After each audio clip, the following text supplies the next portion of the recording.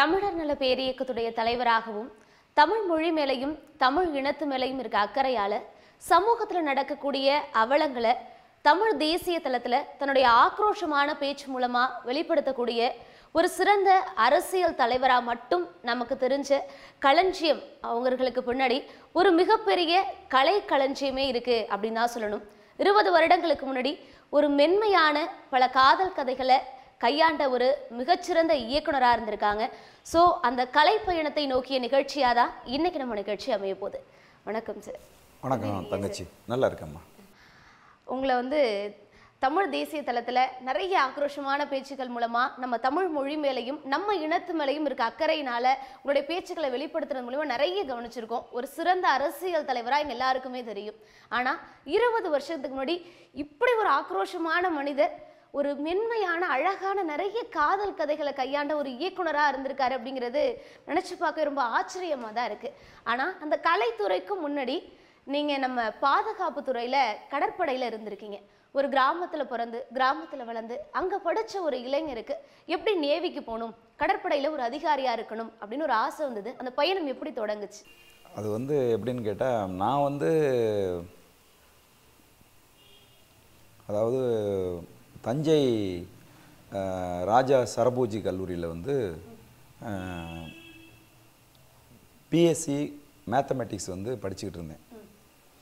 அதை படித்ததுக்கு ஒரு என்ன- என்ன நோக்கம் அப்படின்னு கேட்டிங்கன்னா நான் வந்து ஐபிஎஸ் எக்ஸாம் எழுதணும் ஐபிஎஸ் ஆஃபீஸர் ஆகணும். அதுக்கு வந்து ஒரு எனி ஒன் டிகிரி வேணும் அப்படிங்கிறதுக்காக தான் எனக்கு கணிதத்தின் மீது ஒரு பெரிய காதல் இருந்தது. அதனால் நான் வந்து பிஎஸ்சி மேத்தமெட்டிக்ஸ் படித்தேன். அப்போது அந்த காலகட்டத்தில் வந்து எம்ப்ளாய்மெண்ட் நியூஸ் அப்படின்னு சொல்லி ஒரு பத்திரிக்கை ஒன்று வரும். அந்த பத்திரிக்கையை வழக்கமாக அது ஒரு ரூபா தான் அப்போ. ஆனால் அது நிறைய பக்கங்களோடு இருக்கும். ஆங்கிலத்தில் இருக்கும்.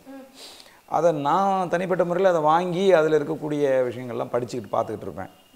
அப்போ ஒரு தடவை வந்து ஒரு செய்தி வந்திருந்து என்னென்னா இந்திய கப்பல் படைக்கான ரெக்ரூட்மெண்ட் செய்தி வந்திருந்தது.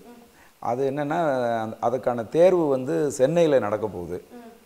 அது வந்து பயணம் வந்து ஃப்ரீ இலவசமாக வந்து நம்ம வந்து ட்ரெயினில் சென்னைக்கு வரலாம்.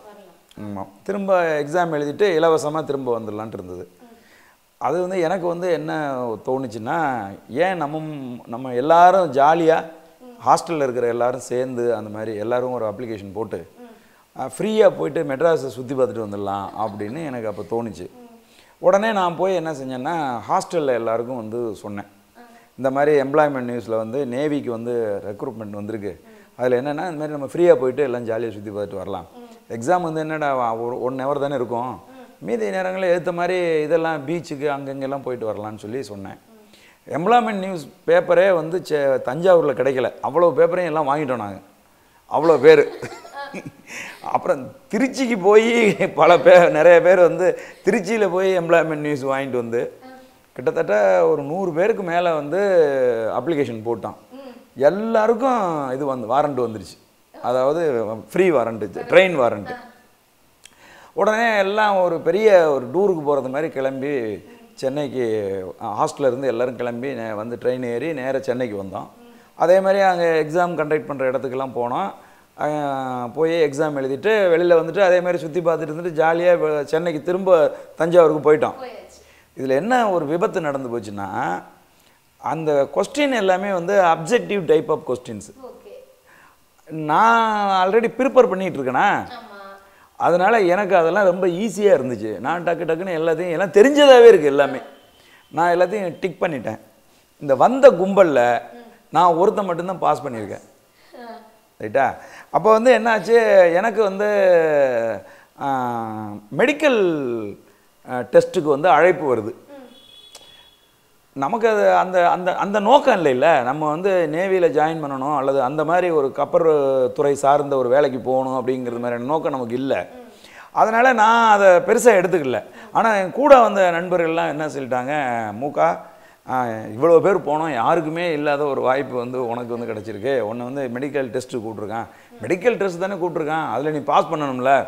அதனால் வந்து நீ போயிட்டு மெடிக்கல் செக்கப்புக்கு போயிட்டு நீ வந்துரு.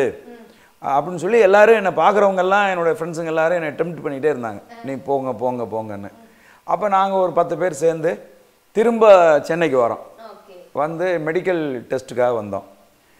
ஆக்சுவலாக வந்து என்னை என்னை மட்டும்தான் உள்ளே வந்து கூப்பிட்டு போனாங்க. நிறைய வெளி மாநிலங்கள்ல இருந்தெல்லாம் நிறைய பேர் பாஸ் பண்ணவங்க எல்லாம் வந்திருந்தாங்க. மெடிக்கல் டெஸ்ட் வந்து பண்ணி முடித்தாங்க பண்ணி முடித்த உடனே அன்னைக்கு மாலையே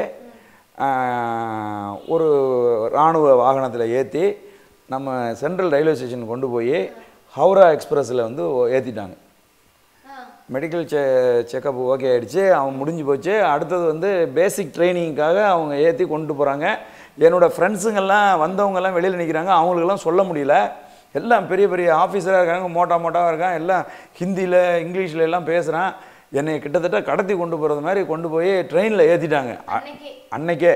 பயங்கரமாக அழுகையாக இருக்குது எப்படி சொல்கிறதுன்னு தெரில விட்டுட்டு இங்கேருந்து ஓடி போனால் பிடிச்சிட்டாங்கன்னா என்ன பண்ணுறது என்னன்னு தெரில பார்த்தா அந்த ட்ரெயின் ஸ்டார்ட் ஆயிடுச்சு.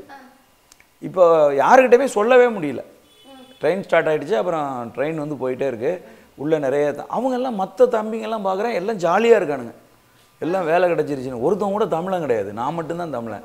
எவனும் வந்து தமிழ்லையும் பேச மாட்டேங்கிறான்.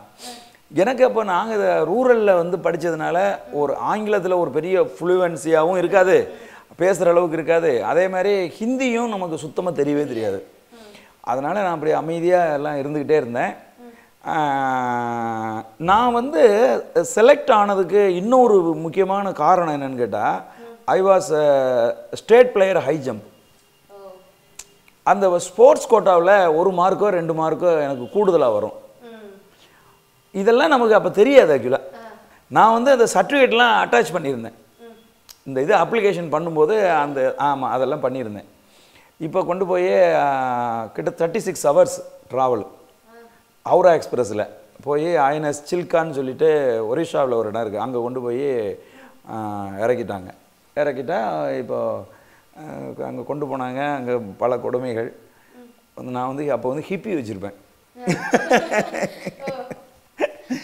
போன அன்னைக்கே அதெல்லாம் பிடிச்சி வெட்டி விட்டாங்க. கட் பண்ணி எடுத்துகிட்டு மீசையெல்லாம் எடுத்துகிட்டு ஒரு நம்மளே நமக்கு அடையாளம் தெரியாத மாதிரி வந்து ஆக்கி விட்டாங்கன்னு வைங்களேன். அந்த மாதிரி இருந்துச்சு. இதில் என்ன நான் குறிப்பிட்டு சொல்ல விரும்புகிறது என்ன அப்படின்னு கேட்டிங்கன்னா நான் த தஞ்சாவூரில் வந்து சரபோஜி காலேஜில் வந்து படிச்சிட்டு இருக்கும்போது அந்த காலகட்டத்தில் தான் தஞ்சை தமிழ் பல்கலைக்கழகம் ஆரம்பித்தாங்க எம்ஜிஆர் பீரியட் தஞ்சை தமிழ் பல்கலைக்கழகத்தில் ஒரு மிகச்சிறந்த நூலகம் இருக்குது அந்த அந்த அந்த நூலகத்துக்கு நான் போவேன். நான் இப்போ வந்து ஒரு ஆய்வு செஞ்சுக்கிட்டு இருந்தேன். மற்ற மாணவர்கள் மாதிரி கிடையாது. I am very serious guy only evening நாலு மணிக்கு மேலே கிரவுண்டில் பார்க்கலாம் ஹை ஜம்ப் ப்ராக்டிஸ் பண்ணுவேன். அப்புறம் காலேஜுக்கு போவேன். மத்தியானத்துக்கு ரெண்டு மணிலேருந்து ஒரு ஃபோர் ஓ கிளாக் வரைக்கும் த்ரீ த்ரீ தேர்ட்டி ஃபோர் வரைக்கும் லைப்ரரியில் இருப்பேன் இருப்பேன். அப்போ நான் வந்து எங்கள் காலேஜில் இருந்து கொஞ்சம் தூரத்தில் இருக்கும். லைப்ரரி அதாவது தமிழ் பல்கலைக்கழகம். ஆமாம் அது நான் பஸ்ஸில் போய் இறங்கி பல அங்கே நூலகத்தில் போய் இருப்பேன். நூலகத்தில் நான் வந்து வேதங்களின் நாடு இந்தியான்னு சொல்லிட்டு ஒரு ஆய்வு மேற்கொண்டுட்டு இருந்தேன். பர்சனலாக நானாக ஒரு ஆய்வு மேற்கொண்டுட்டு இருந்தேன். அதுக்காக தனியாக எனக்கு ஒரு டேபிள் இருக்கும். அந்த டேபிளில் நான் புக்ஸ் எல்லாம் அடுக்கி வச்சு எல்லாம் பார்த்துக்கிட்டு இருப்பேன். இந்த நேரத்தில் யாரோ ஒருத்தன் ஒரு புத்தகத்தை யாருக்கும் தெரியாமல் மறைச்சி வைக்கணும் அப்படிங்கிறதுக்காக அந்த பொலிட்டிக்கல் செக்ஷனில் கொண்டாந்து ஒரு புத்தகத்தை மறைச்சி வச்சிருக்கிறான். அந்த புத்தகத்துக்கு என்ன பேருன்னா சினிமா ஒரு கோட்பாடு.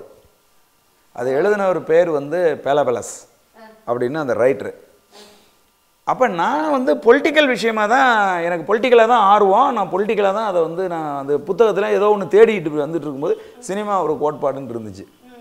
சினிமா என்ன பெரிய கோட்பாடுன்ட்டு அதை தள்ளி விட்டுட்டு இப்படி போனேன். போனவனுக்கு சினிமா ஏன் கோட்பாடாக இருக்குன்னு சொல்லிட்டு போய் அதை திரும்ப எடுத்துகிட்டு வந்து இங்கே வச்சேன். அதுக்கப்புறம் அதை எடுத்து படிக்க ஆரம்பித்தேன் படிக்க ஆரம்பித்தா செம்ம இன்ட்ரெஸ்டிங்காக இருந்தது. உடனே ஹாஸ்டலுக்கு வந்தேன். ஹாஸ்டலுக்கு வந்துட்டு அன்றைக்கி கிரவுண்டுக்கே போகல அப்புறம் வந்து அந்த அந்த புத்தகம் குறித்த ஒரு சிந்தனையாகவே இருந்தது. அடுத்த நாள் காலையில் என்ன செஞ்சேன்? காலேஜுக்கும் போகல நேராக வந்து படம் பார்க்குறதுக்கு போனேன். என்ன படம் வந்துருந்துச்சுன்னா அப்போ நாயகன் வந்திருந்தது. தஞ்சாவூர் விஜய தேட்டரில் நாயகன் ஃபஸ்ட்டு ஷோ பார்த்தேன். அதை காலையில் மார்னிங் ஷோ பார்த்தேன். எனக்கு வந்து ஏதோ கண்ணாடி அதாவது தெளிவாக படம் பார்க்குறது மாதிரி தோணுச்சு. ஏன்னா இந்த புத்தகம் படிச்சிருக்கேன்ல. ஒரு ஷாட்டுனா என்ன? பல ஷாட்டுகள் சேர்ந்தது ஒரு சீனு இப்படிலாம் ஒரு long shot mid shot close shot இப்படிலாம் நிறைய விஷயங்கள் பற்றி அவன் டெபனேஷன்ஸ் பண்ணியிருந்தான் அது. சினிமா ஒரு கோட்பாடு அது. அதை படிச்சுட்டு பார்த்தேன். திரும்ப என்ன பண்ணேன்? திரும்ப வந்து வெளியில் அந்த ப அந்த பதினோரு மணி ஷோ முடிஞ்சு மேட்னி நூன் ஷோ முடிஞ்சதில்ல மேட்னி ஷோக்கு திரும்ப டிக்கெட் வாங்கிட்டு அதே படத்தை திரும்ப பார்த்தேன். திரும்ப வந்து என்ன செஞ்சேன்? ஃபஸ்ட்டு ஷோக்கு டிக்கெட் வாங்கிட்டு சாப்பிட கூட இல்லை. திரும்ப மூணு ஷோ அடுத்த ஷோ பார்த்தேன். மூணு ஷோ படம் பார்த்துட்டு வெளியில் வந்தால் ஏதோ சினிமா வந்து ஏதோ கைக்கு வந்துட்டது மாதிரி ஒரு ஃபீல் வந்துருச்சு. உடனே உடனே நான் ஹாஸ்டலுக்கு வந்து என்னோட நண்பர்கள்ட்டலாம் நான் வந்து பேசினேன். இப்போ ஃப்ரெண்டெல்லாம் வந்து என்ன சொன்னேன் ஏ பங்காளி நீ டேரக்டர் ஆயிடுறா பங்காளி டேரக்டர் மாதிரியே பேசுகிறடா நீ அப்படின்ட்டாங்க. இப்படி எனக்கு சினிமா மேலே வந்து ஒரு ஆர்வம் வந்துருச்சு. இந்த ஆர்வத்தோடு எல்லாரும் என்னை வந்து டேரக்டர்னு க ஆஸ்திரேலியெல்லாம் கூப்பிட்ற அளவுக்கான ஒரு ஆளாக நான் இதே மாதிரி சினிமா பற்றியே பேசிக்கிட்டு கொண்டுக்கிட்டு அப்படி இருந்துட்டேன். அதுக்கப்புறம் நான் சினிமா புத்தகங்கள்லாம் எங்கடா இருக்குன்னு தேட ஆரம்பிச்சிட்டாங்க. இந்த மாதிரியான ஒரு சூழலில் தான் என்னை கொண்டு போய் நேவியில் விட்டுச்சா. அங்கே போனால் அங்கேயாவது ஒழுங்காக ட்ரெயின் பண்ணானுங்க ஒழுங்காக விட்டானுங்கன்னு இல்லாமல் வார வாரம் ஒரு படம் காட்டுவாங்க.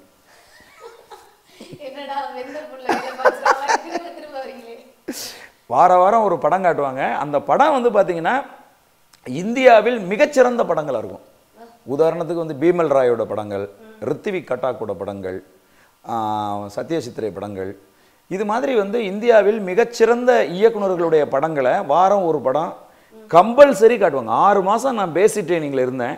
ஆறு மாதமும் வாரம் ஒரு படம் காட்டினாங்க. அந்த படங்கள் எல்லாமே மிகச்சிறந்த படங்கள். அதாவது நம்மளை தூங்க விடாத படங்கள். ஆமாம் நான் வந்து அந்த ரித்விக் கட்டாக் பல படங்கள் வந்து தமிழ் சினிமாவில் எனக்கு வந்து ஐடென்டி ஆச்சு. ரித்விக் கட்டாக்கோட மேகத்தக்க தாரான்னு ஒரு படம். அதுதான் வந்து அவள் ஒரு தொடர்கதை இதெல்லாம் அப்போ நமக்கு தெரியாதுல்ல. இப்போ நம்ம அவள் ஒரு தொடர்கதை பார்த்துருக்குறேன். அது மேகத்தக்க தாரா பார்க்கும்போது அட அங்கேருந்து தான் அடிச்சிங்களடா அப்படின்னு நமக்கு அப்படிலாம் வந்து தோணுது. ஒரு ஒரு பெரிய எக்ஸைட்மெண்ட் நமக்கு உருவாகுது. இவ்வளோ நல்ல படங்களாக இருக்கே அப்படின்னு. அப்போ திரும்ப வந்து சினிமா குறித்த சிந்தனைகள் கடுமையாக இருந்தது. அது முடிச்சுட்டு ஐஎன்எஸ் லோனாவலா பூனேக்கு போனேன். மெரின் இன்ஜினியரிங் படிக்கிறதுக்காக அங்கே கொண்டு போட்டாங்க. அங்கே போய் படிக்க போனால் அங்கேயும் இதே தான் வீக்லி ஒன்ஸ் ஒரு படம் காட்டுவாங்க. நாங்கள் வந்து ரொம்ப சீரியஸான வேலையில் இருக்கோம்ல. காலையிலேருந்து மத்தியானம் பன்னெண்டு மணி வரைக்கும் மார்ச் ஃபாஸ்ட்டு அதுக்கப்புறம் இது வந்து ரெகுலராக மார்னிங் வந்து ஃபோர் ஓ கிளாக் எந்திரிப்போம். Seven o'clock eight o'clock வரைக்கும் வந்து பிடி கிளாஸு இப்படி அதுக்கப்புறம் ஒரு ஒன் ஹவர் வந்து கிளாஸு ஈவினிங் ஃபுல்லாகவே வந்து பிடி கிளாஸ் இப்படி போட்டு டார்ச்சர் பண்ணிகிட்டே இருக்காங்கல்ல. அதனால் வீக்லி ஒன்ஸ் அதுக்கு ஒரு ரிலீஃபுக்காக தான் எங்களுக்கு படம் காட்டுறாங்க. மொத்த மொத்தமாக வந்து இப்போ நாங்கள் ஐயாயிரம் பேர் இருக்கோம்னா அந்த ஐயாயிரம் பேரையும் காலையிலேருந்து கொஞ்சம் கொஞ்சம் பேராக அது எப்படி படம் பார்க்க போவோம்னா யூனிஃபார்ம்லாம் போட்டுட்டு எல்லாம் மூணு மூணு பேராக வந்து லெஃப்ட் ரைட் லெஃப்ட் அப்படின்னு சொல்லி போய் அங்கே போய் ஃபாலின் பண்ணிவிடுவான் ஃபாலின் பண்ணதுக்கப்புறம் வந்து நம்பர்லாம் நடுவில் எவனா காணாமல் போயிட்டான் எவனா ஓடி போயிட்டான்னா கரெக்டாக நம்பர் வந்து சொல்ல சொல்லுவாங்க. ஏக் தோ தீன் அப்படின்னு அவன் அட்டண்டன்ஸ் வந்து ஒரு ஒருத்தன் வந்து ஒரு ஒரு நம்பர் சொல்லிட்டே வருவான். அப்போ அந்த மூணு மூணு பேராக அங்கேருந்து வர்றது. தோட்கே சல் அப்படின்வான் அது வந்து என்னென்னா இப்படி இப்படி ஓடி வரணும். கால் ரெண்டும் முன்னாடி தூக்கிட்டு இப்படி இப்படி தான் ஓடி வருவோம். சர்க் சர்க் சர்க் சர்க்குன்னு எல்லாம் ஓடி வருவோம். ஓடி வந்து கதம் தால் அப்படின்னு வந்து நிற்போம் நின்ன உடனே கவுண்டிங் நம்பர் நம்பர் எல்லாம் கரெக்டாக இருந்துச்சு அப்படின்னு சொன்னால் இப்போ உள்ளே அனுப்புவாங்க. இருந்தாலும் கூட அது வந்து அந்த சினிமா குறித்த காதலை சினிமா குறித்த சிந்தனையை அங்கேயும் நான் வேலைக்கு போன இடத்துலையும் திரும்ப திரும்ப எனக்கு அது ஏற்படுத்திக்கிட்டே இருந்ததுனால மெரின் இன்ஜினியரிங் முடிச்சுட்டு கோவா பாகிஸ்தான் பட எனக்கு போர்பந்தரில் வந்து எனக்கு டியூட்டி போட்டாங்க. டியூட்டி போர்பந்தரில் பார்க்குற காலகட்டங்கள் எல்லாம் இதுக்கு நடுவில் வந்து இந்த மெரின் இன்ஜினியரிங் முடிக்கிற அதே காலகட்டத்தில் தேரிட்டிக்கல் ப்ராக்டிக்கல்னு ரெண்டு இருக்கும். ப்ராக்டிக்கலுக்கு ஷிப்பில் வந்து என்னை வந்து லைன் கேட் பாம்பேயில் போட்டாங்க. அங்கே வந்து பாம்பேக்கு வந்தாச்சுன்னா என்னாச்சுன்னு கேட்டிங்கன்னா அங்கே தமிழர்கள் நிறைய இருக்காங்க. தமிழ் படங்கள் எல்லாம் பார்க்கலாம் அப்படின்னு ஆல்ரெடி நமக்கு மைண்ட் செட் இருக்கு இல்லையா? அதனால் வந்து இப்போ வந்து எவ்ரிடே வந்து லிபர்ட்டி கிடைக்கும். அஞ்சு மணிலேருந்து நைட்டு ஒரு மணி வரைக்கும் லிபர்ட்டி அந்த லிபர்ட்டியில் நான் என்ன செய்வேன்? வெளியில் வந்த உடனே எங்கே தமிழ் படங்கள் ஓடுது அப்படின்ட்டு ஈரோஸு இந்த மாதிரி. அதுக்கப்புறம் வந்து தாராவி உள்ளே போனோம்னா சின்ன சின்ன வீடுங்களில் முன்னாடிலாம் சின்ன சின்ன டிவியை வச்சுக்கிட்டு பத்து ரூபா பாஞ்சு ரூபா பணம் வாங்கிட்டு உள்ளே படம் ஓட்டுவாங்க. ஆமாம் அந்த அந்த மாதிரியான விஷயங்கள். இதுக்கெல்லாம் நான் தேடி வந்து போய் அங்கே தமிழ் படங்கள் எல்லாம் வந்து பார்க்க ஆரம்பித்தேன் அப்போ படம் குறித்த சிந்தனை தான் மூளையில் இருக்குது நம்ம வந்து ரிட்டையர்ட் ஆகிறதுக்கு நான் நான் வந்து ஒரு கான்ட்ராக்ட் இருக்குது எல்லாருக்குமே. எயிட்டீன் இயர்ஸ் டுவெண்ட்டி இயர்ஸ்னு இப்போ எனக்கு ஒரு கான்ட்ராக்ட் இருக்குது அந்த கான்ட்ராக்ட் முடிகிறதுக்கு எனக்கு எப்படி பார்த்தாலும் ஒரு ஐம்பத்தி நாலு வயசு ஐம்பத்தஞ்சு வயசு இந்த மாதிரி ஆகிடும் நான் சின்ன வயசுலேயே போயிட்டேன். ஆமாம் தேர்ட் இயர் இப்போ ஸ்டார்ட் ஆகும்போதே நான் வந்து போயிட்டேன். போயிட்டு நான் அங்கேருந்து வந்து தான் என்னோட தேர்ட் இயர் வந்து எக்ஸாம் எழுதினேன். அப்போ வந்து நான் இதை முடிச்சுட்டு நான் வர்றதுக்கு இதாயிரும். அப்போ நம்ம நடுவில் நம்ம நெ- என்ன நினைக்கிறோமோ அதை வந்து அதுக்கப்புறம் அடைய முடியாது அப்படின்னு மைண்ட் சொன்னிச்சு. அதனால் நான் வந்து வேலையை விட்டுட்டு சினிமாவுக்கு சென்னைக்கு வந்துட்டேன். சினிமாவுக்கு சென்னைக்கு வந்தாச்சு. ஓகே. படித்தப்பையும் சரி வேலைக்கு போன இடத்துலையும் சரி திரும்ப திரும்ப கலைத்துறையும் இந்த சினிமாவும் உங்களை வந்து நீங்களாக நீங்களா தேடி போறனாலும் அங்கே வந்துக்கிட்டே இருக்கிறதுனால இல்லை நமக்கான பாதை இதுதான் அப்படின்னு சொல்லி சென்னைக்கு வந்தாச்சு. சென்னைக்கு வந்த உடனே நேவி அப்படிங்கிறது ஒரு எதிர்பாராத விதமாக கிடச்சிது. நீங்கள் ஐபிஎஸ்க்கு ப்ரிப்பேர் பண்ணிட்டு இருந்தீங்க. ஓகே சென்னைக்கு ஜாலியாக ஒரு ட்ரிப் போவோம் அப்படின்னு ஒரு பிளான் பண்ணி போன இடத்துல ஒரு பெரிய ஜாப் கிடச்சிருச்சு. அந்த மாதிரி சினிமாவும் வந்த உடனே உடனே தூக்கி இயக்குனரா உட்கார வச்சிருச்சா? ஈஸியா? இல்லைன்னா அது கடந்து வந்த பாதை கஷ்டமா இருந்துச்சு. இல்லை அது வந்து இப்போ பொதுவாக வந்து மற்றவங்க சொல்கிறது மாதிரி ம், எனக்கு எதுவும் அந்த மாதிரியான பேட் எக்ஸ்பீரியன்ஸ் இல்லை. காரணம் என்னன்னு கேட்டிங்கன்னா ரெண்டு விஷயம்தான். ஒன்று ஐ வாஸ் ஆஃபீஸர் ஸோ இங்கே வந்து சினிமாவுக்காக முயற்சி பண்ணிட்டு இருக்க அசிஸ்டன்ட் டைரக்டர்ஸுக்கும் எனக்கும் வித்தியாசம் இருக்குது நிச்சயம். ஸோ அவங்கள மாதிரி நான் வந்து என்னால் இங்கே அதாவது இங்கே சென்னையில் வந்து அவங்கள மாதிரி என்னால் இருக்கவும் முடியாது. அவங்கள மாதிரி என்னால் பிஹேவ் பண்ணவும் முடியாது. மோர் தென் தட் அவங்கள விட நான் ஒரு அடி மே- ஒரு படி மேலேங்கிறது மாதிரியான ஒரு எக்ஸ்பீரியன்ஸ் எனக்கு இருக்குது ஸோ அதனால் நான் வந்து பிளான் பண்ணேன். ரெண்டாயிரத்தி ஆயிரத்தி தொள்ளாயிரத்தி தொண்ணூற்றி அஞ்சுக்குள்ளே நான் வந்து அசிஸ்டன்ட் டைரக்டர் ஆகிடணும் ஓகே ரெண்டாயிரத்துக்குள்ளே நான் வந்து படம் பண்ணிடணும் அப்படின்னு ஒரு திட்டம் ஒன்று போட்டேன். அதுக்கப்புறம் வந்து என் எனக்கான எனது உலகத்தை நான் வந்து சினிமாக்குள்ளே உருவாக்கணும் அப்படின்னு நான் வந்து முயற்சி பண்ணேன்.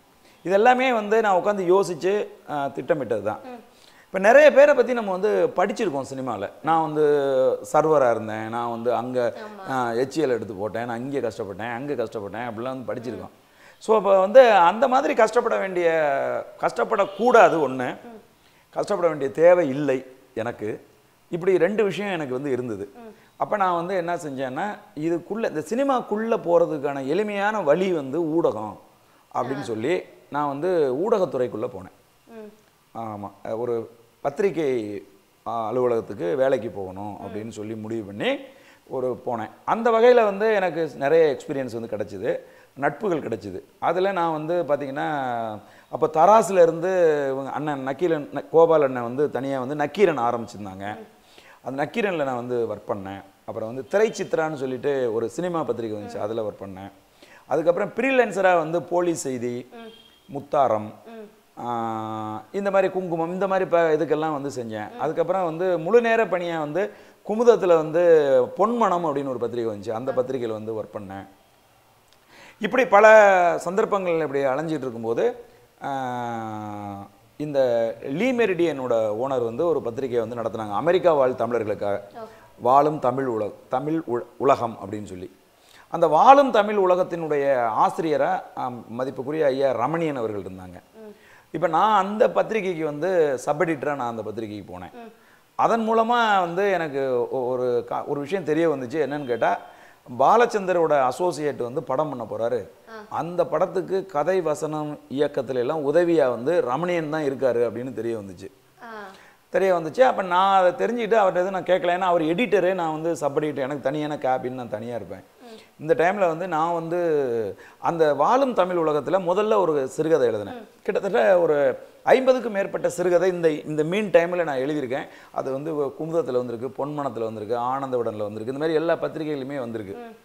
ஸோ அப்போ இந்த டைமில் நான் அந்த வாழும் தமிழ் உலகத்தில் முதல் வாரம் நான் முதல் மாதம் ஒரு பத்திரிகை ஒரு கதை எழுதினேன். ரெண்டாவது இஷ்யூலையும் நான் ஒரு கதை எழுதினேன். இந்த ரெண்டாவது இஷ்யூவில் நான் எழுதின கதையை படிச்சுட்டு வசந்த் வந்து இவர்கிட்ட கேட்டுக்காரு யார் இந்த கதை எழுதுனது? நல்லா இருக்கு இந்த கதை. அப்படின்னு சொல்லி. அப்படியா நான் வாங்க இங்கே தான் சப் எடிட்டர் இருக்காரு நான் இங்கே வரும்போது உங்களுக்கு இன்ட்ரடியூஸ் பண்ணுறேன்னு அவர் சொல்லியிருப்பார் போல இருக்கு. இப்போ வசந்த் சார் வந்து ஒரு நாள் கேளடி கண்மணி இன்னும் வந்து கதையெல்லாம் உருவாக்கிட்டு இருக்காங்க. இன்னும் வந்து ஷூட்டிங் போல. இந்த சூழ்நிலையில் வசந்த் சார் ஒரு நாள் ஆஃபீஸ்க்கு வந்தார். ஆஃபீஸ்க்கு வந்த உடனே இப்போ அவரோட கேபினுக்கு எடிட்டரோட கேபினுக்கு பெல் அடித்து என்னை கூப்பிட்டாங்க. நான் போகும்போது எனக்கு இன்ட்ரடியூஸ் பண்ணார்.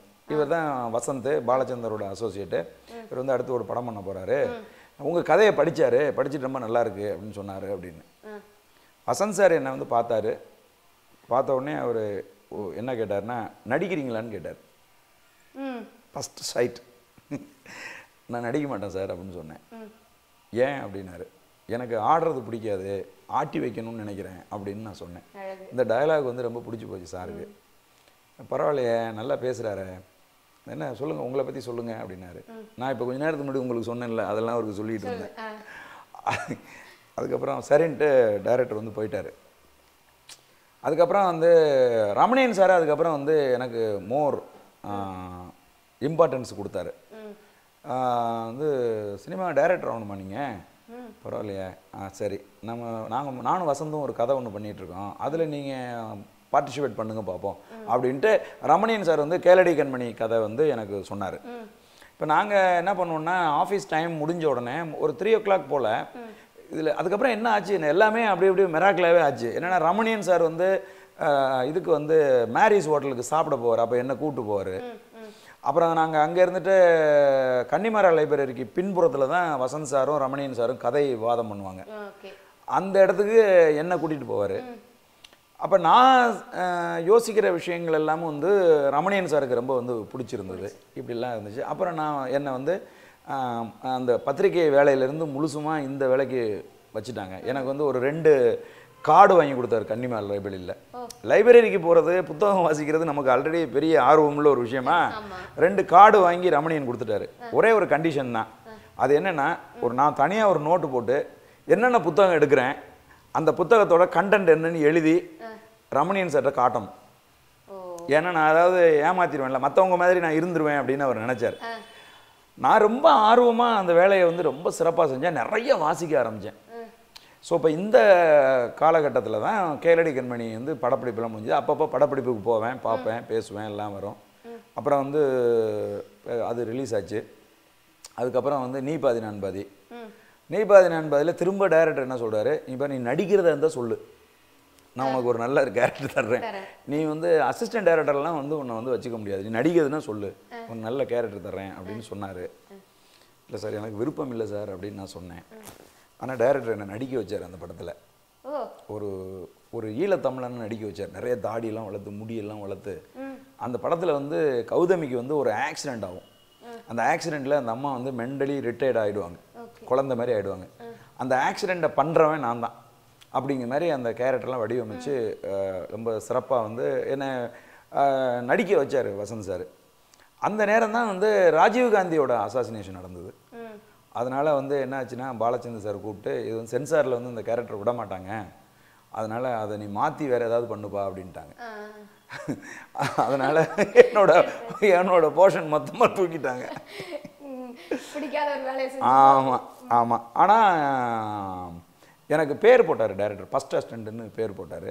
நான் ரொம்ப நல்லா ஒர்க் பண்ணேன் அப்படின்ட்டு எனக்கு முதல் உதவி இயக்குனர் அப்படின்னு எனக்கு வந்து பேர் போட்டார். நான் தான் சினிமாவுக்குள்ளே வந்துட்டேனே. நிச்சயமா. அவ்வளவுதான். ஸோ உதவி இயக்குனரா சேர்ந்தாச்சு. ரெண்டு மூணு படங்களும் சார் கூட சேர்ந்து பண்ணியாச்சு. அதுக்கப்புறம் உங்களுடைய முதல் படம். அந்த கதையை எப்போ எழுத ஆரம்பிச்சீங்க? எனக்கு ஒரு பொருளாதார நெருக்கடி வந்தது. அந்த பொருளாதார நெருக்கடியிலேருந்து நான் வெளியில் வரணும் அப்படின்னா எனக்கு இருக்கிற வாய்ப்பு வந்து சினிமா மட்டும்தான். அவ்வளோ பெரிய ஒரு தொகையை வந்து மற்றவங்கள்ட்டெல்லாம் வந்து நம்ம வந்து யார்கிட்டையும் கேட்டெல்லாம் வாங்கிட முடியாது. அப்போ ஏன்னா நான் வந்து ஒரு கதை எழுதி அந்த கதை விற்று அந்த கதையின் வர அதுலேருந்து வர்ற அமௌண்ட்டை தான் நான் வந்து வாங்கி கொடுத்தாகணும். ஊர்லேருந்து அம்மா வந்து கொஞ்சம் நெருக்கடி கொடுத்துக்கிட்டே இருக்காங்க. அப்போ வந்து சரின்ட்டு நான் அதற்கான முயற்சியில் வந்து நான் இறங்கினேன். அதில் வந்து ஒரு ரெண்டு மூணு பேர் என்னை வந்து சீட் பண்ணிட்டாங்க ஏமாற்றிட்டாங்க அதனால் நான் வந்து என்ன செஞ்சேன்னா ரொம்ப வெக்ஸ் ஆகிட்டு எனக்கு சினிமாவே வந்து சினிமாவை பிடிக்காம இல்லை சினிமாக்காரர்கள் எல்லாம் எவனையுமே பிடிக்காமல் போயிடுச்சு. சினிமா என்னுடைய நேர்மைக்கு ஒத்து வராது. இது நம்ம தவறான துறையை நம்ம தேர்ந்தெடுத்துட்டோம். இங்கே இருக்கிறவங்க எல்லாமே ஃப்ராடு பசங்க. அப்படிங்கிற ஒரு மைண்ட் செட்டுக்கு வந்து நான் வந்து அதாவது ஊருக்கே போயிட்டேன். ஊருக்கு போயிட்டு நான் வந்து விவசாயம் பார்த்துக்கிட்டு இருந்தேன். போயிட்டேன். சுத்தமாக சென்னையே வேணான்னு சொல்லிட்டு ஊருக்கு போயிட்டேன். ஊரில் போய் விவசாயம் பார்த்துக்கிட்டு இருந்தேன். இங்கே என்னென்னா ரெண்டு மூணு விஷயங்கள் இருக்குது ஒன்று எல்லாரும் வந்து சாயந்தரம் ஆறு மணி ஆச்சுன்னா எல்லாரும் வந்து குடிக்கிறாங்க. எனக்கு அது பிடிக்காது. அது அது அதில் அதில் பங்கெடுக்கலை அப்படின்னு சொன்னால் நம்மளை வந்து ஒரு வித்தியாசமாக பார்க்குறாங்க நம்மளை வெறுத்து ஒதுக்குறாங்க. அதுக்கப்புறம் வந்து கடுமையாக பொய் சொல்கிறாங்க எல்லாரும். மாற்றி மாற்றி எவனையாவது ஒருத்தனை போட்டு ஏமாத்துறாங்க எல்லாரும். யார்கிட்டையுமே நேர்மையாக இல்லை. அப்படிங்கிறதுனால எனக்கு இந்த துறை சரிப்பட்டு வராது. நம்ம வெட்டு குத்தாயிரும் போல இருக்கே அப்படின்ட்டு நான் வந்து ஊருக்கு போயிட்டு அப்போ நான் ஊரில் விவசாயம் பார்த்துட்டு இருக்கும்போது கருதை அறுத்துட்டு அதுக்கப்புறம் அந்த வயலில் திரும்ப உழுது அதில் வந்து எள்ளு விதைக்கிறதுக்காக நாங்கள் அதுக்கான வேலையில் நான் இருந்துகிட்டு இருக்கும்போது எனக்கு ஒரு டெலகிராம் வந்துச்சு. டெலகிராம்னா கிராமத்தில் இப்போ இல்லை அப்போ வந்து டெலகிராம் வந்தால் எல்லாம் பயந்துருவாங்கல்ல?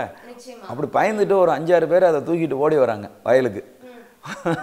நானுமே என்ன டெலகிராம்னு சொல்லிட்டு வாங்கி அதை உடைச்சு பார்த்தா அந்த டெலகிராம் வந்து டைரக்டர் சி ரங்கநாதன் வந்து அனுப்பியிருக்காரு. Start immediately for my. Film new film அப்படி இப்படின்னு ஒரு ரெண்டு மூணு வரிகள் எழுதி எனக்கு வந்து டெலகிராம் வச்சுருக்காரு. சரின்ட்டு நான் அவருக்கு பக்கத்தில் ஒரு மளிகை கடை இருந்தது. அந்த மளிகை கடையோட நம்பர் என்கிட்ட இருந்துச்சு. அதனால் நான் சாயந்தரமாக அந்த வேலையெல்லாம் முடிச்சுட்டு சாயந்தரமாக டவுன் அப்போல்லாம் வந்து செல்ஃபோன் இல்லை. எங்கள் ஊர்லேயே ஃபோன் இல்லை. ஃபோன் கிடையாது. யார்கிட்டையுமே. அதனால் நான் ஃபோனில் பேசணும்னா டவுனுக்கு போய் ஏதாவது ஒரு கடையில் இருக்கிற ஃபோனை அவங்கள்ட்ட ரெக்வஸ்ட் பண்ணி அப்படி தான் நம்ம பேசணும். இல்லைன்னா போஸ்ட் ஆஃபீஸில் போய் ட்ரங்க் கால் வந்து போடணும். இது வந்து எப்போன்னு கேளுங்க. இப்போ இந்த இந்த காலகட்டத்திலேயே இந்த நைன்டிஸ்லேயே நிலைமை தான் புரியுதுங்களா? ரொம்பலாம் தள்ளியெல்லாம் கிடையாது. அப்படியே தான் இருந்தது. கிராமங்களெல்லாம் எங்கேயுமே ஃபோன்லாம் கிடையாது. செல்ஃபோன் வர்றதுக்கு முன்னாடிலாம் இதுதான் உண்மையான நிலைமை. அப்போ நான் இங்கேருந்து போயிட்டு அங்கே உரக்கடையில் என்னோட நண்பர் இருந்தார். அவர்கிட்ட போயிட்டு அவங்க ஃபோனில் இருந்து நான் இங்கே ரங்கநாதன் சார் கடிச்சு ரங்கநாதன்ட்ட பேசணும்னு சொல்லிட்டு இன்னும் ஒரு பத்து நிமிஷம் கழிச்சு கூப்பிடுங்கன்னாங்க. அப்புறம் வந்தார். பேசினேன். இப்போ களஞ்சியம் இந்த மாதிரி நான் வந்து விஜயை வச்சு நான் படம் பண்ண போகிறேன் நீங்கள் வந்து எனக்கு கதை மட்டும் நீங்கள் ரெடி பண்ணி கொடுத்துட்டு போங்க. ப்ளீஸ் அப்படின்னு சொன்னார். சரின்ட்டு இல்லை சார் நான் சினிமா வேணான்னு வந்துட்டேன். இல்லை இல்லை நீங்கள் கதை மட்டும் பண்ணி கொடுத்துட்டு போயிருங்க கிளஞ்சியம் அப்படின்னாரு. சரின்ட்டு நான் கிளம்பி வந்து அவங்களுக்கு கதை பண்ணி கொடுக்கறதுக்காக வந்தேன். அப்புறம் நான் கதையை பண்ணி அதுக்கான டிஸ்கஷன் இதெல்லாம் ரெடி ஆகி முடியும் போது அப்படியே இப்போ என்ன இவ்வளோ தூரம் வந்துட்டீங்க? சினிமா விட்டு ஏன் போகிறீங்க இவ்வளோ தூரம் ஆவலாக சினிமாவை நீங்கள் நேசிக்கிறீங்க? சினிமா அப்படியே எனக்கு அசோசியேட்டாக ஒர்க் பண்ணி கொடுத்துருங்க அப்படின்ட்டாரு. சரின்ட்டு அது படம் வந்து கோயம்புத்தூர் மாப்பிள்ளை அந்த படத்தில் அசோசியேட்டாக ஒர்க் பண்ணேன். அதை ஒர்க் பண்ணுற அதே காலகட்டத்தில் எனக்கு படம் கிடச்சிருச்சு. நான் அந்த படம் கோயம்புத்தூர் மாப்பிள்ளையை வந்து முடித்தேன் அந்த படம் முடிஞ்சு ரிலீஸ் ஆகும்போது எனக்கு ப்ரொடியூசர் கிடைச்சாங்க. நான் அடுத்து என்னுடைய படத்தை நான் பண்ணேன். ஒரு செவர் முழுதும் வந்து நாயகனில் வந்து இப்படி இப்படி கிழிச்சது மாதிரி ஒரு கமல் சார் அந்த காயத்தோடு இருக்கிறது மாதிரி ஒரு ஃபோட்டோ இருக்கும்ல அதை வந்து நான் வந்து ஃபுல்லாக ஆர்டிஸ்ட் வச்சு வரைஞ்சி வச்சுட்டேன். அவங்கெல்லாம் வந்து இப்போ ஐயோ கவிதாலயா பெரிய நிறுவனம். அவங்கெல்லாம் சேர்த்துக்க மாட்டார். பாலச்சந்தர்லாம் உன்னை சந்திக்கவே மாட்டார். அப்படிலாம் வந்து பூமணி வந்து நான் விற்கிறதுக்காக எழுதின கதை. அவன் கதை வேறையா இருந்துச்சுன்னு வச்சுக்கோ. அது உன் கதை வேறையா மாறி போயிடும். ராஸ்கல் அதனால் என்னோட என்னோட போர்ஷன் மொத்தமாக தூக்கிட்டாங்க. சென்னையே வேணான்னு சொல்லிட்டு ஊருக்கு போயிட்டேன். ஊருக்கு போயிட்டு நான் வந்து விவசாயம் பார்த்துக்கிட்டு இருந்தேன்.